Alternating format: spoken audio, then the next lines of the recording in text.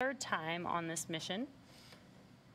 And below the fairing, we have the second stage. Now that's that shorter white stage above the black inner stage that houses our Merlin vacuum engine. After the first and second stages separate about two and a half minutes into the flight, the second stage will ignite its single Merlin vacuum engine to carry the payload to its desired orbit. And last but not least, we have the first stage, also referred to as the booster.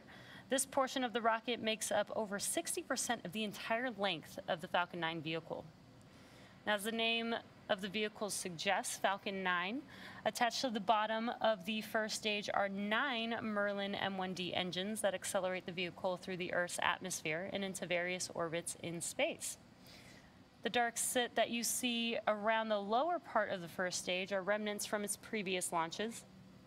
For this particular booster, it has experience supporting both Falcon 9 and Falcon Heavy missions.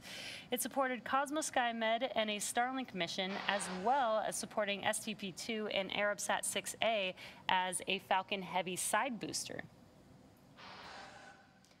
Now, what you can see on your screen there is our drone ship, a shortfall of Gravitas. It's currently using its four thrusters to maintain position in the Atlantic Ocean. And the first stage will be, once it separates from the second stage, we will be attempting to recover the first stage for a fifth time on our drone ship, a shortfall of gravitas. We got a great view there too. Now you can see on your screen, there are those clamp arms just below the fairing opening up. Those clamp arms are attached to the transporter erector, that structure next to the vehicle. And it looks like the clamp arms have completed opening up, so we should see the transporter erector to start to move. And there you can see it on your screen. It's slow and slight, but the transporter erector is now moving away from the vehicle just slightly. And at liftoff, it will move even further away to clear the way as Falcon 9 lifts off. And there you can see it. Pretty cool close-up view of that transporter erector retracting back. We're coming up on prop load completion on the stage one, LOX load complete.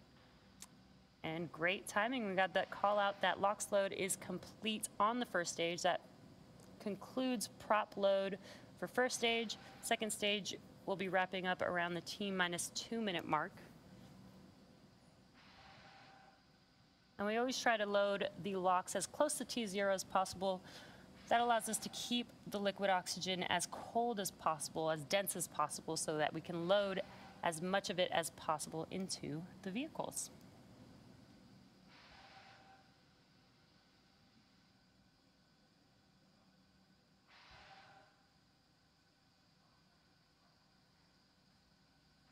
Again, first stage LOX load has already concluded. We're coming up here in about 15 seconds or so on second stage LOX load complete. Once we finish prop loading, we have the LOX line on the transporter erector. We will start to clear out that line, so you'll see a lot more of those white clouds because we'll be venting out the liquid oxygen line once we finish prop load.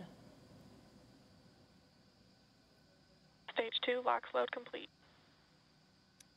And good calls prop load is now complete on Falcon 9. And there you can see on your screen the venting of that liquid oxygen line on the transporter erector and also a great view of pad 39A. You can see the fixed service structure. Uh, and that's used where... Uh, yes, launch closeouts. That's where the, the crewed astronauts uh, will make their way up that fixed service structure and across the crew arm that you can see there when we fly crew. We're coming up on the T minus one minute mark. At that time, the flight computers will take over the launch countdown. We should hear that call out here in a few seconds. Falcon is in startup. There it is. Falcon 9 is now in startup. We are just waiting the final call from the launch director.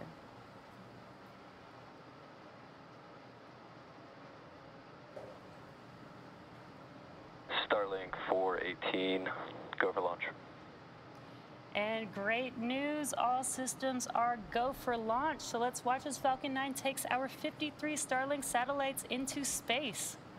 T minus 30 seconds.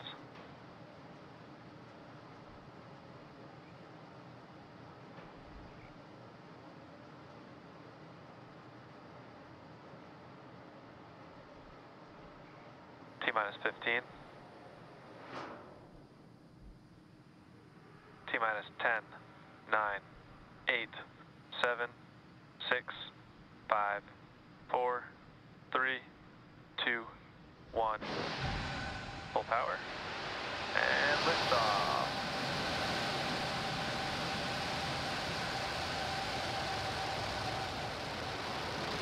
Vehicle pitching downrange.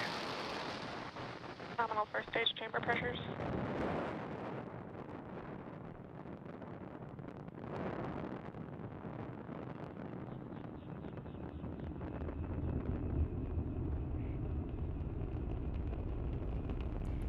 Falcon 9 has successfully lifted off from Launch Complex 39A, carrying our 53 Starlink satellites into space. Now, moments ago, we did throttle down the engines on the first stage, and this is in preparation for Max Q. Max Q Power is and telemetry are nominal. Max Q is the maximum dynamic pressure that the vehicle sees on ascent.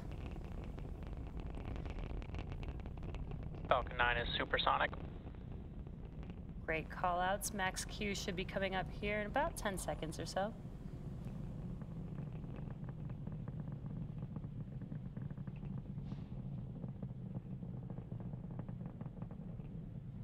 Max Q. And there's that call out. We just passed through Max Q. Now, with that, we have a few events happening back to back very quickly, one after another. That'll be MECO, or main engine cutoff, stage separation, SES 1, or second stage engine startup 1, and then fairing deploy. MECO is where all nine of those engines that you could see lit up on your screen that is where those engines will shut down, and that helps slow the vehicle down in preparation for the next event, which will be stage separation. That's where the first and second stage separates from each other.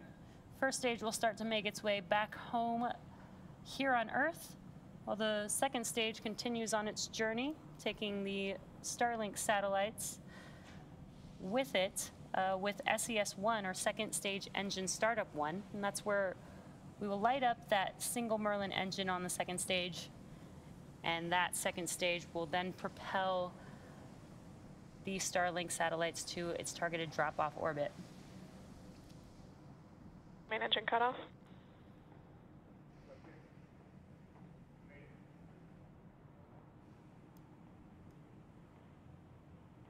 Stage separation confirmed.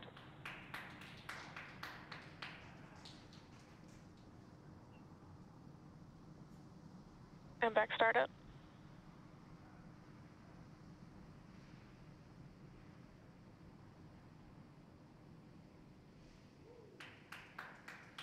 Separation confirmed. Great views of all four of those events. We had MECO main engine cutoff, which we were able to see with the tracking camera. We had stage separation. On your left-hand screen, you can see a view from the first stage. On your right-hand screen is the view of the Both vehicles are following nominal trajectories. Great callouts, nominal trajectory so far. On your right-hand screen is a view of the MVAC engine on the second stage, and you can see that is lit up. And we also got a great view of fairing deploy. And with those fairing halves having deployed, they are now going to make their way back to Earth.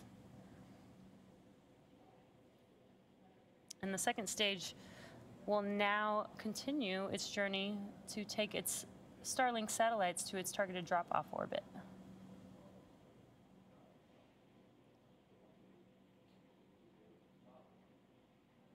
And some awesome views here on your screen with the Earth in the Acquisition background. signal Bermuda. Now, while second, second stage proceeds towards its targeted drop-off orbit, the first stage will be making its way back to Earth. And to do so, it will execute two burns. Now, the first burn is called the entry burn, and that is where three of those nine M1D engines reignite. That helps slow the vehicle down as it enters back into the Earth's atmosphere. Then the second burn is called the landing burn. It's the final burn of the first stage. It's just the single center E9 engine. And that brings the, the vehicle speed down rapidly in order to touch down. Both down. vehicles continue to follow nominal trajectories. in order to touch down on our landing zone. And again, today it is a shortfall of Gravitas, our drone ship that is nearly the size of a football field. And it's currently located off the coast of South Carolina in the Atlantic Ocean. Now, to aid in recovery, Falcon 9 is equipped with some pretty awesome tools to help it land. It has four landing legs stowed at the base of the vehicle that deploy right before landing. It also has four hypersonic grid fins, and you can see that on your left hand screen. You can see two of the four. Um, these grid fins are located near the top of the first stage, and they help to steer the vehicle as it makes its way back to its landing zone. And you can also see some white puffs on the first stage. There goes one. Um, those are nitrogen bursts. Those are used for attitude control as the vehicle is guiding its way back down to Earth.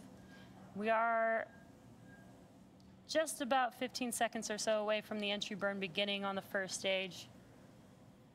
Stage two is still looking good.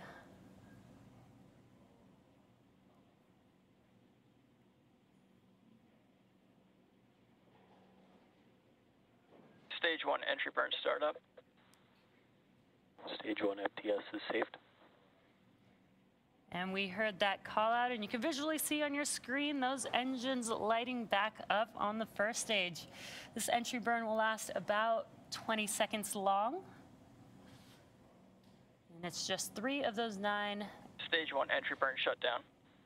three of those nine engines, and heard that call out that the entry burn has concluded. And you can fi- you can visually see that the engines have shut down. Both vehicles continue to follow nominal trajectories. Now, there will be a second burn for the first stage. That is the landing burn. Um, but as the vehicle is coasting right now, the atmosphere scrubs most of the velocity on the first stage. So we just need that single one engine burn right before touchdown. Uh, each one of these M1D engines have about 190,000 pounds of thrust. That's enough to slow the vehicle down rapidly uh, to make that touchdown landing.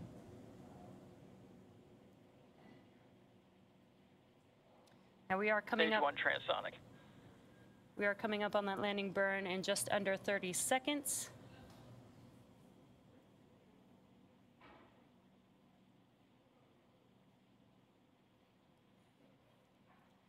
Great view of first stage here, making its way towards our, our drone ship, a shortfall of gravitas.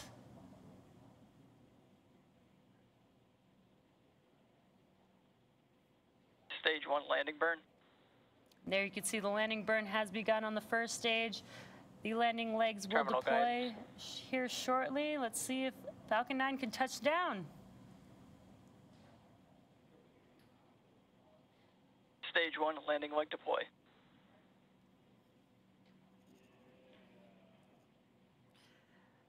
Incredible view there. As you can see on your screen, Falcon 9 has touched down on our drone ship. A short, Stage 1 landing confirmed. a shortfall of gravitas. Now, this marks the 121st overall recovery of a Falcon booster. And what a great view we have there on our screen. And we are coming up on SECO 1 here. MVAC cut off. Expected loss of signal, Cape.